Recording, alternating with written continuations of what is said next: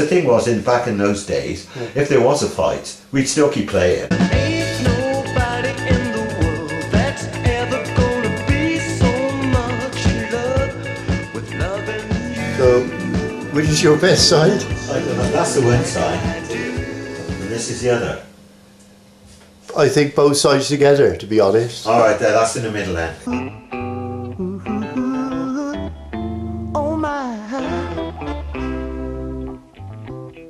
People say I'm the life of the party cause You've been playing uh, live on stage for about 50 years, as far as I know. It must have been that time, sort of Yeah. that sort of length of time has been just one long gig, I think. If you see me with another girl, seems like I'm having fun. Although she may be cute, she's just a substitute because you're just the permanent one. So take a good look at my face. Shouting the gamble and his his guitar touched the microphone stand, which was touching, and he sort of just had an electric shock and just went dead like a popular tree.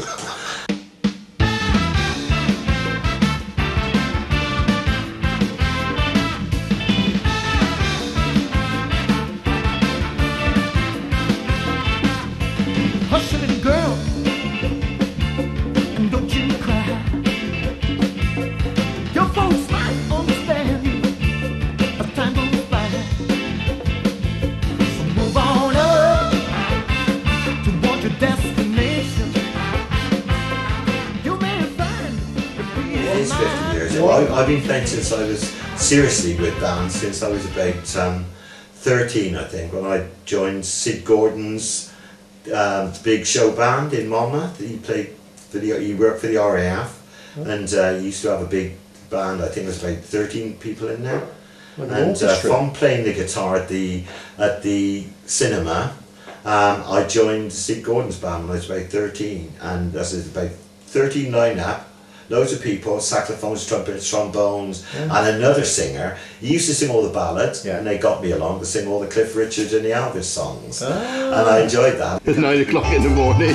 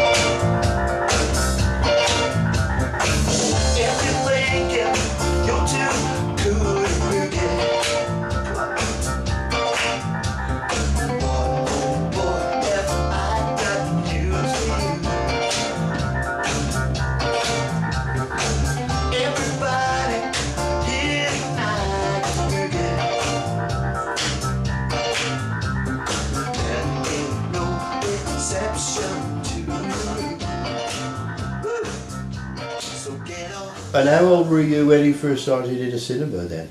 Younger than 13? Oh, it's probably about nine or ten, I expect, maybe eleven.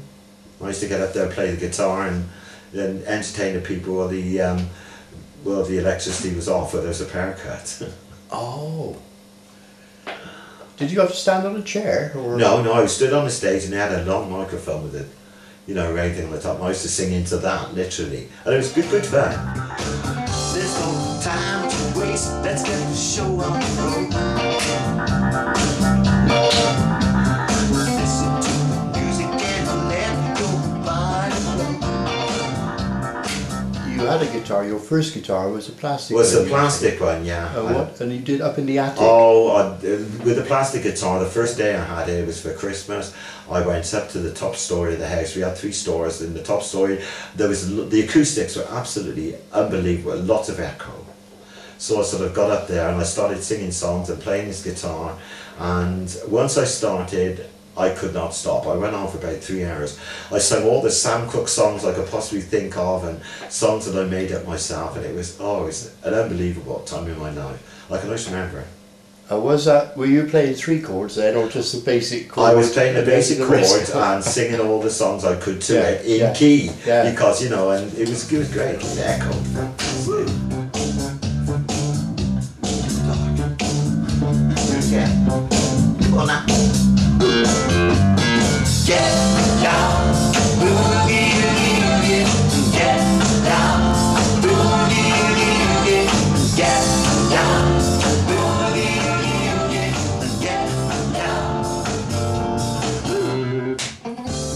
Tell us something about the Charles Kingsley combo. Oh, Charles Kingsley combo. How did you Um, get to be in that? Well, my uh, my mum used to know. Um, I think it was uh, uh, the chap was named Cox. I can always remember. She used to he used to play the guitar. He was in the Charles Kingsley combo, and they saw me singing one day, and they, they said, "Can you come along and sing?" And I think he was playing um, rhythm guitar there, so they got me along singing. Kingsley on the piano, played some really on guitar, really nice That's. Kingsley Ward. That's Kingsley Ward, and Charles on the guitar, which I think he had a Strat, a nice Strat. That's Charles And, Ward uh, was his brother, two That's right, brothers. Charles and Kingsley together. And I think we had Dave, um, we had a guy called Dave on the bass guitar, and we had um, Hayden Jones on the drums who lived opposite me. Ah. And uh, we, we did lots of gigs, and it was really enjoyable. And, and then from there you went up to London with them, Went to London with them to, to uh, Joe Meek Studio. Comic Studio. I think Kingsley had a, a, an organ, quite a big one. It wasn't a Hammond, I think it was a Lowrey. We used to carry it up the stairs. And we used to go there every month, I think. And uh, it was great. We, This- I, we must have been there about eight times, I spent. This is history. Joe Meek was going around twiddling all the knobs and things. And Yeah. yeah, I, we were singing songs. Was he wearing a suit? Oh, time? always had a suit yeah. on, yeah. He twiddled lots of the, the knobs. Professional. Lots of equipment, massive. Because He had a lot of secrets with his equipment. Oh, in, in, in those days, the Yeah. equipment was about six times the size that it is now. Yeah. Oh dear. And uh, did you meet any of the other, say, stars at Joe Meek's studio? Because I Yes, know Tom did. Jones was up there. As With far Tom Jones, we've seen um, Heinz Burt and people like that, and also I've played with all these other ones, like sort of we had Pink Floyd. I played with those. We with Well, uh, supported. supporting with Kingsley and Charles, Yeah. uh, Charles combo. Uh, Johnny Kidd and the Pirates, uh, Eric Clapton with the Yardbirds. I can remember that gig. Yeah. there There's lots of people there, and also Joe Brown and the Brothers, who played the guitar behind his. Yeah, First time I'd seen yeah. anybody doing that Yeah. before. Yeah. He was good. All those things were being done in England already, weren't they? A lot of those They were that's- techniques that- and tricks. Yeah, that's the first Johnny I'd Kidd and the seen- Pirates. Johnny that and was the a Pirates. very, uh, Very good at that. uh, yeah, But that was the first time I'd seen anybody do that really good. No, Yeah. You know, Joe Brown was really good. Good Uh, guitarist. Now, and of course at Joe Meeks, you said you had to carry that Yeah. equipment up those stairs. Up those stairs, every yeah, above the time. leather shop. We carried them up the stairs and it was terrible. I can always remember us doing it. And you, you didn't realise at the time you were actually walking through rock, English History. rock history. Oh, exactly, yeah.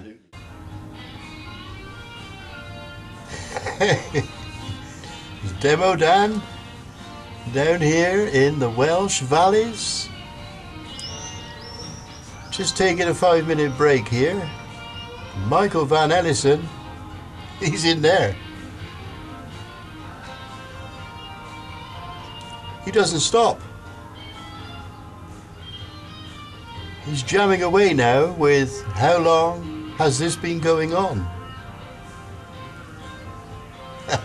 I've been here 24 hours and he's he's been going on the whole 24 hours. It's like a the living epitome of what rock and roll is.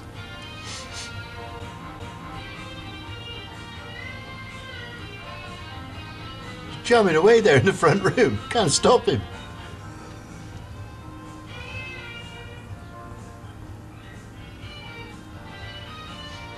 I went off to bed last night and uh, at three o'clock in the morning in the distance I could still hear him. Singing away, playing away.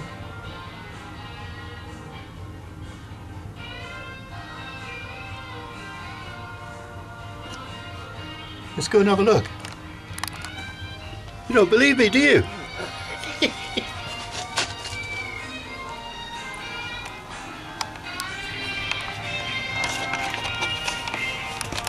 Been cooking some chicken in the kitchen.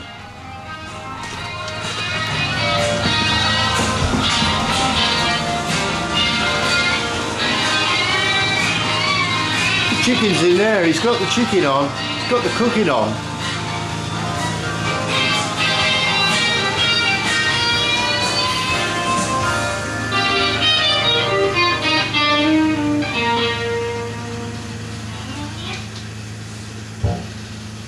Right there, Michael.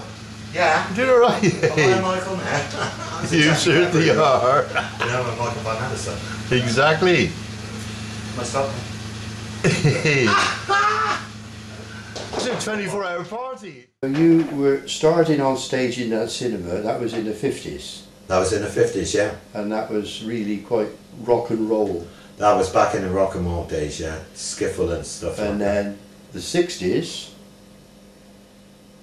how did the music, the music that you were doing, was that then going into soul music more? Like It was going into soul, yeah. Then we went into Geno Sam Washington? Geno Washington, Otis Redding, and Yeah. people like that. And that was the sort of type of things we were doing. Yeah. All the soul artists, hmm. all the soul tracks that we done were basically around that sort of stage. And they were all the best ones, you know, all the best soul Yeah. songs. And I don't think they really had discos. That wasn't quite No, started no. then. A lot It- of the yes, entertainment many was live discos. bands. It was a live band all the time. Yeah.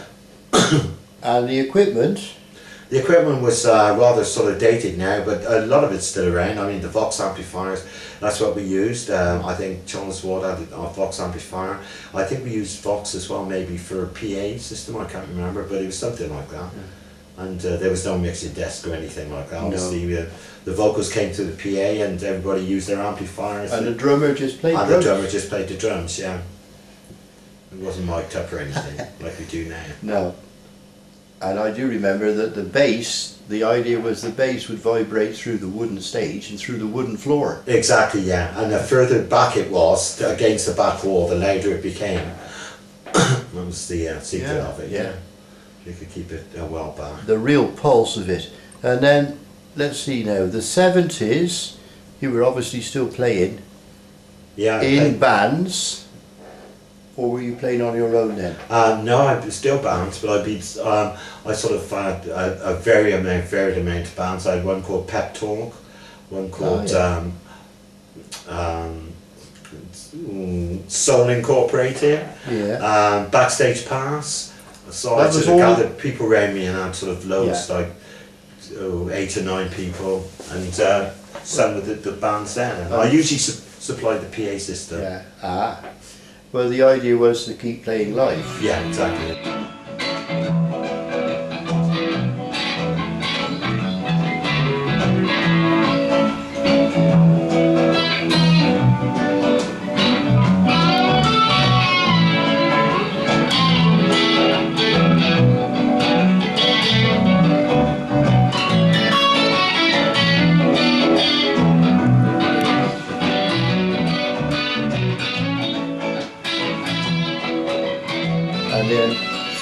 80s and 90s, well, you've really just kept going and you've Just always been playing live. Yeah. Now, last night you just got back from London Just got back from London. and now you don't have, well, you didn't have roadies in the old days. 'cause you No, to carried it all Yeah. basically. And so now you're still doing that because I'm still doing that, yeah. So you came back from the gig in London and uh, loaded your kit I'm in, loading my kit up, drive all the way back. drive all the way back. I drove. I started back about three o'clock in the morning. I think Yeah. I got here about half seven or something like Yeah, that. Yeah. So you haven't had that much And I didn't sleep. No, I didn't go no. sleep. Well, you're doing very well. You're doing very well. And that was a gig in London, Yeah. and uh, and then tonight you're off to a, a gig, Leinster again, yeah. right? Gig again. The, now, the gig in London, though, that was with the band you're playing with currently. You play with uh, that's a No, that band. was uh, that. That particular gig was one I'd done on my own with some backing oh, tracks. oh, sorry, but So- you at the moment you do play with a, Oh, with the with the yeah. a full soul lineup Yeah, that's also. Soul Incorporated. We well Soul Machine there. Soul Machine. Soul Machine Soul Machine. as a London band. That's a London band, Okay. yeah, yeah. Uh, and then tonight you're going out just just you. Just me. Well, you still keep playing. Yeah?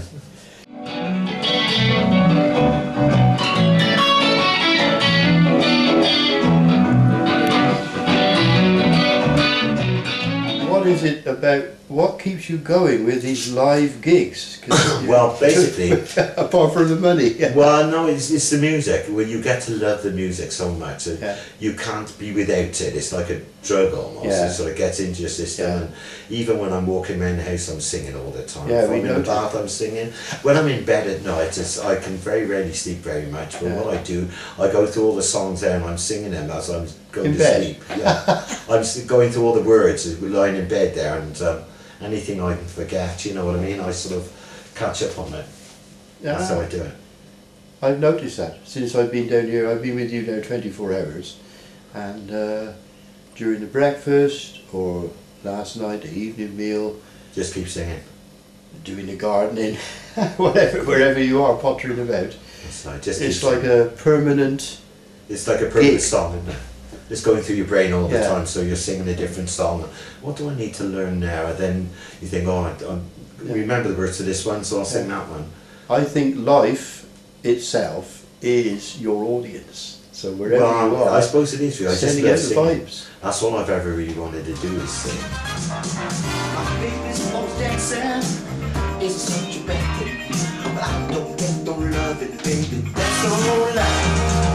My baby's always dancing. It's such a bad thing. But I don't get no loving, baby. That's the whole lie. I spent the night in Frisco. Left at the disco. On that night I put my I have played in some fairly, I played some really large leisure centres, lots of, but I've also played in some small places as well. Probably um, maybe 15 or 20 people or something like that. Yeah. And I, it's very hard to uh, to put it over good when there's not so many people. But the thing is, they always clap, so Yeah. you know what I mean. Yeah, you always good. yeah. If you go down good, it's okay. You haven't got many people, and it's not so exciting. But some of the places in London, Yeah. then how many have you got there? A thousand. Oh, you've got thousands. Don't blame it on sunshine. I think in Gloucester they used to have a Oh, we soul done. Yeah, we festival. Outside in Gloucester in the Or carnival day. Carnival days, On yeah. a carnival day, I've done that about five or six times now. Yeah. That's outside in the carnival, round with the carnival, and then outside at at night time in the. You mean festival. performing on a moving? Oh, uh, yeah, oh, definitely.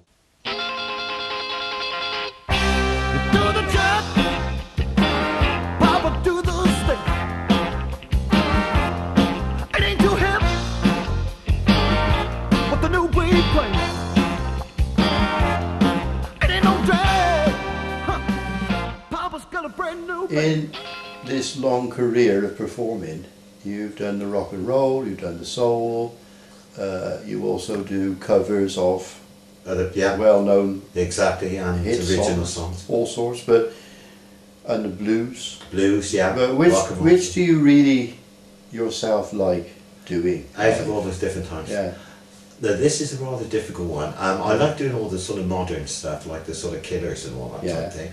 But I also like all the soul songs. Yeah. And I've noticed that the audience, they love things all by sort of people like Marvin Gaye and all the great artists like that, that I try, I, I sing those as Yeah. well. And I tend to look at the audience and um, I go, I, I think, what would they like? You know, I go for that Yeah. because I think that's always a winner. If you look at the audience and think, well, would they like this or would they Yeah. like that? uh, which one do they want You want can next? communicate, yeah. yeah, exactly, yeah. Well, you must have. Uh, let me see, fifty years, sixty years, 60 years, yeah. sixty years of sussing out So audiences. singing, yeah, yeah. and singing all these different brand new songs.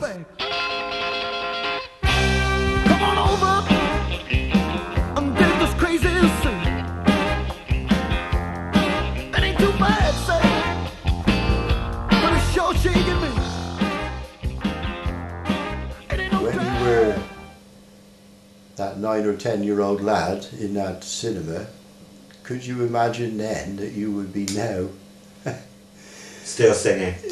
I mean, we're getting into our pension area now, and uh, you're still going. Yeah, did you imagine? Did I think I'd be yeah. going this long? Um, I think I did, yeah, because it's it's been a thing with me. Once once you start it, you try to perfect it, and you get it better and better. Yeah the better you get it, the more the people like it. Yeah. And I've always wanted this thing anyhow, so um, I, I think I, I probably did think to myself, I'll be going and going this and still it. singing forever.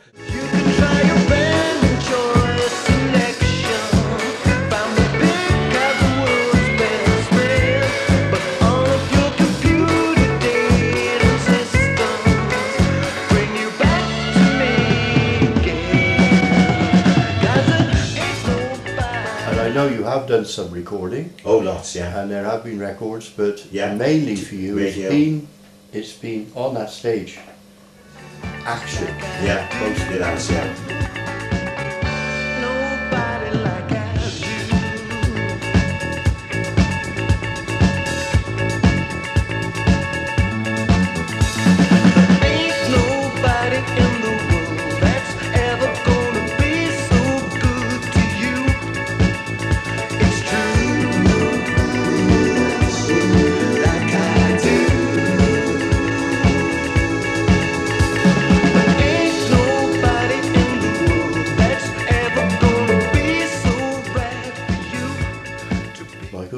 Anderson, Michael Van Anser. Thank you very much. Keep rocking. Keep rocking.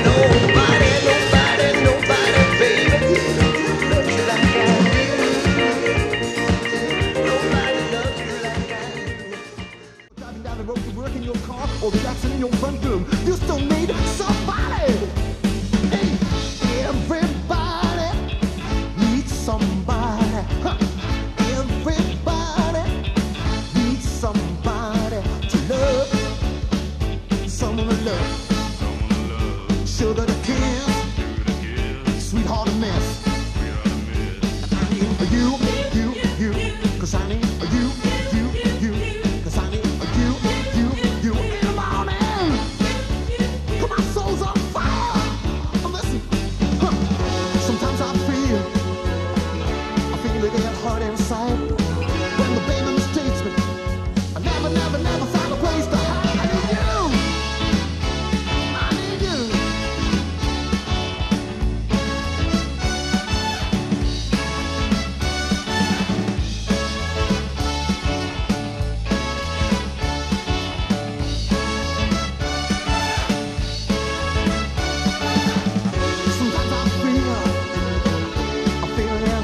side